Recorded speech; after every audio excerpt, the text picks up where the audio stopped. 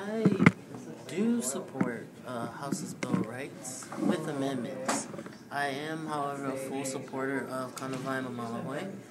Um, the reason why I say with amendments is because I, inside, I feel like this bill doesn't have full disclosure. It doesn't say you can occupy, like it says in Right. Kānāwai Māmalahoe, the state constitution. And um, without full disclosure and honesty, I feel like it's not showing aloha. It's not. And it shakes me up that they can fluff it up and say, oh, we're giving you your rights. Right, Which right. it sounds to me they want to maintain the conduct of the HPD, which a Bill of Rights, it, sh- it shouldn't. It shouldn't be specifically for that purpose. Right. That's how I feel. No, no, no, no. Um, And and very with good that, testimony again, too. Um, you mean him will Tom to- Brower take a look at this? right, right. Will it Will will, it change his pay attention? behavior? Will it change I don't HPD behavior? Right, right. So it's like it's not enough. It's, it's definitely it's definitely not enough. I can answer that question. All right. Oh, speaking of Tom Brower. I'm the Brower. father of this. I, everyone say hi to the father of this bill. Okay, and, and you would that's this is Tom Brower, right?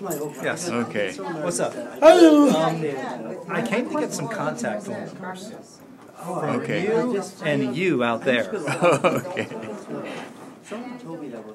I didn't I didn't get a chance to talk to you about this, but what what does it mean to say This bill does not go far enough. This bill should say have the right to a restroom 24 hours a day. This bill should say have a right to a safe place to camp overnight.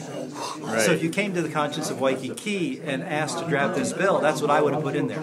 I see. Okay. Well, you're the guy that was sledgehammering uh, homeless people's Yes. carts. So like, it's odd. It seems like Yes. People should not steal shopping carts. We should create a better solution. If the homeless need a place to keep their things, then government as well as the private sector should come up with those places. Maybe locker rooms, maybe areas in the city. We should be freeing homeless from shopping carts, not keeping them attached to them. That being said, shopping carts should not be stolen. Okay, this is this is an official position then. I mean, you are out on the internet now. As having said It's that. been my position for. I, I was the first legislator to talk about homeless safe zones more than five years ago. It's always been my position. I want to keep the city clean and come up with a better solution for homelessness, chronic homelessness. Okay, that's great. Hey, thanks for stopping by and giving us. Uh, Thanks for the ambush interview. yeah, it's it's guerrilla video. You know what I'm saying? Thank you. Um, let, let me get a contact for you. Email, Okay, phone number, something. let me.